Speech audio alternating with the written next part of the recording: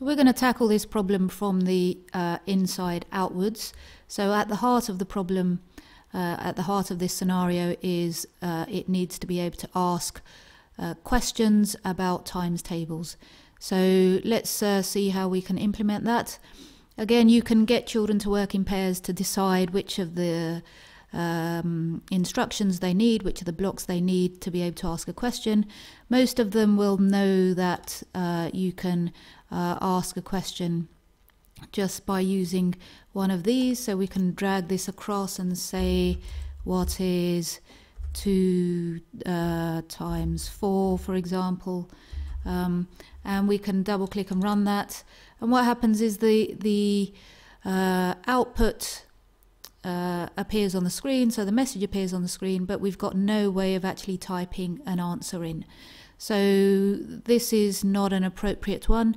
So again, if you ask the children to uh, go away and investigate, some of them may come up with something like, well, maybe we can ask, uh, use this particular command under sensing, this instruction under sensing, the ask um, instruction, and underneath the ask instruction, we've got this thing called answer, which we may also make uh, use of. So let's just drag this one out and then see whether we can say uh, what is 2 times 4, however you say that uh, to your children. Double click it to run it. And this time, what we get, if we use this particular instruction, is we get some way of typing an answer in. So I could type an answer in here. Uh, so I've typed in 8 and press enter and it's happy, it's asked the question, it's taken my answer, but it doesn't do anything with it. So uh, it will ask a question, but we're not doing anything with the input. So to actually do something with the input, we need to say, well, check the answer, and if it's correct, then say hooray, and if it's not, then output an appropriate message. So again, uh, get children to go away and think about and investigate which command they might use, and uh, most of them should know uh, or recognize that they may use the if command. So if the answer is correct, then, well, let's just put a message in to begin with, and we'll think about what the condition is going to be there. So let's just say, hooray.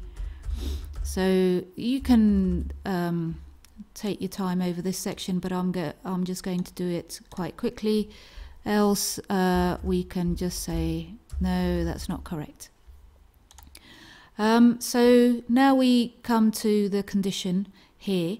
And what we want to do is whatever we've typed in answer, we want it to check that. So uh, again, we can go away and look at the operators.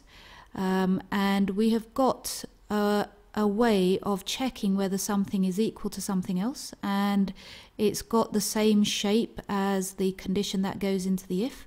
So let's drag this one out and then think about what we might want to put in there. My question is 2 times 8, uh, 2 times 4, sorry, and the answer is going to be 8. So I need something to equal 8. What I type in gets stored in this answer over here. So this answer, if I drag this out, and again move it over the conditions, and uh, children will be used to this, when it's white and we let go, it will uh, uh, fix onto the space there.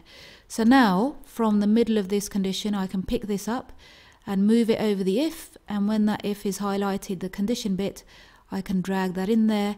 And again, I can get children to articulate this out loud to their partner, what it's actually doing. So let's go away and run this and see if that happens. So I'm just going to double click uh, and I'll type the answer in correctly and it says hooray and again, to make sure that this is tested uh, thoroughly, we need to check the other conditions. So what happens if we type the answer in wrong? Uh, does it give us the message that it's supposed to give when it's wrong? So we've got this far, and now the discussion is, well, what's what's wrong with this uh, particular quiz? You know, it's um, and you should get a response back saying, well, it's a it's only asking the one question. It can only ask two times four, which makes it a little bit boring. And so we need to uh, sort that out so that it will ask different types of, uh, uh, it will ask questions with different numbers in. And uh, we'll look at that in the next video.